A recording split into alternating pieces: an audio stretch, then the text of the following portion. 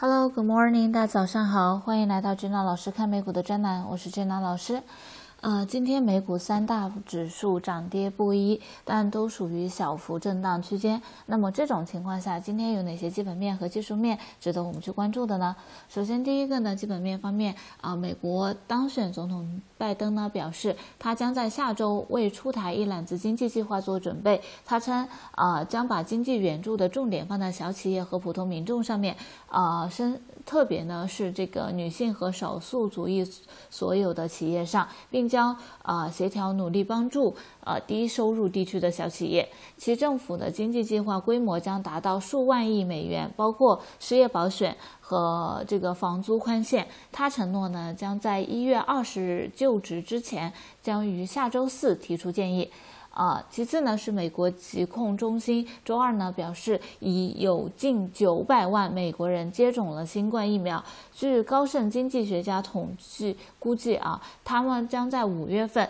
呃，预计将呃所有的百分之五十的美国人可能都会接受第一剂新冠疫苗接种。那么，美国疾病控制和这个预防中心的这个统计数据显示，美国已有十个州出现了感染英国发现的。变异新冠病毒的病例确诊至少七十二人。那么，呃，这个除此之外的话，就是周一呢，美股收跌，啊，这个科技股呢跌幅领先，亚马逊、Facebook、苹果等悉数收跌。那么这个是目前的一个情况。那么除此之外的话，涨得比较好一点的呢，目前市场可以关注的是这个啊，新能源电动车这一块的一个走势呢还是不错的。那我们具体来看一下今天的这个。呃，技术面的一个情况。首先，我现在打开的是 SPY 的 Daily Chart。同样的呢，我们用的趋势阶梯，白色线方向朝上，中期上升，红色柱子短期也是上升，所以短期、中期仍然是上升趋势，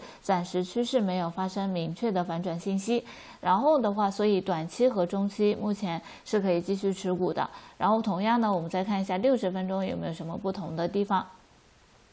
六十分钟，我们可以看到前期的话，股价在这个阶段横盘，然后资金呢持续往外流。昨天呢，我们也讲到了这个点，就是说，所以说昨天啊，当时做盘中解析的时候，就跟大家说，今天的尾盘可能往下回调的概率会更大一点。所以呢，这昨天尾盘也的确是啊，就是说回完了之后继续往下回调了一下。那么到目前为止呢，整个啊趋势呢，目前表现的是整体趋势是已经啊这个短期呢还在继续回调的一个过程。虽然目前。来说是啊收了一根阳线，但整体趋势还处于回调的这个状态中。绿色柱子、白色线方向朝上，所以呢中期仍然是上升，短期呢目前还在继续回调，所以暂时没有回调结束。那么接下来如果股价继续调整的话，下一个目标支撑位呢就得到前期高这个白绿白色线的一个位置，这个位置呢大体的一个价位啊可能会是差不多是三百七十六点。啊，一九左右。那昨天我们看到这个价位还在这儿，今天怎么到这儿了呢？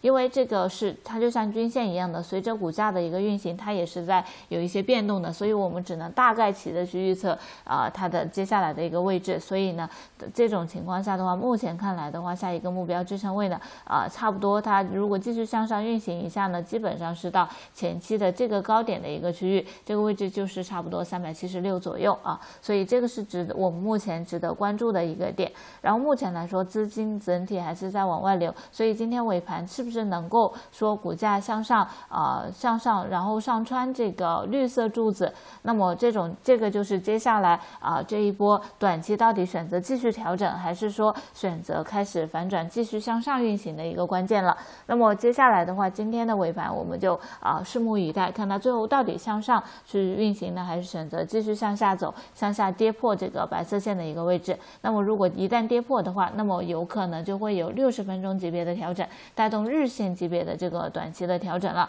所以这种情况下，那我们就要小心日线级别一旦发生调整，那我们这个时候就要注意一下风险了。好吧，那么这个是目前来说的这个大盘解析的一个状况啊，没有目前没有明确的这个短期、中期的一个卖出的信号，所以短期、中期暂时可以继续持股。然后，如果你有想买的股票的话，还是那句话，有比较大把握的情况下再去动手，好吧？那么呃，目前来说，基本上今天的大盘解析呢还是这样子啊。如果想每天都准时收到俊朗老师的大盘解析，还想让俊朗老师嘛免费的帮忙整股，那么可以扫描。添加娟娜老师的微信，然后的话或者啊联系娟娜老师 WhatsApp 号码六零四三七六五八八八，就可以进行免费诊股啦。我是娟娜老师，我在微信上面等你哦。